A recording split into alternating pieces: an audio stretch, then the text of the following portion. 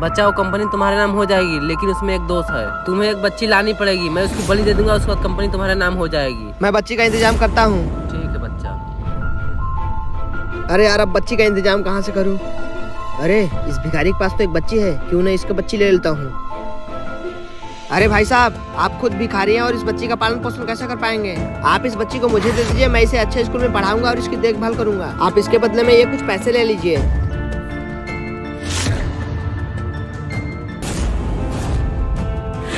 अरे भाई साहब आपने चंद पैसों के लिए अपने बच्ची को एक अनजान हाथ में दे दिया।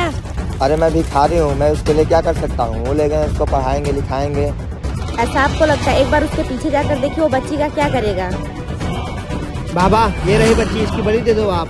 बहुत अच्छा बच्चा है, इसका सर यहाँ पे रखो। अरे ये क्या कर रहे हो तुम लोग? तुमने मेरा विश्वास तोड़ा नहीं चाहिए तुम्हारा पैसा ये लो अपना पैसा। मुझे मेरी बच्ची वापस करो।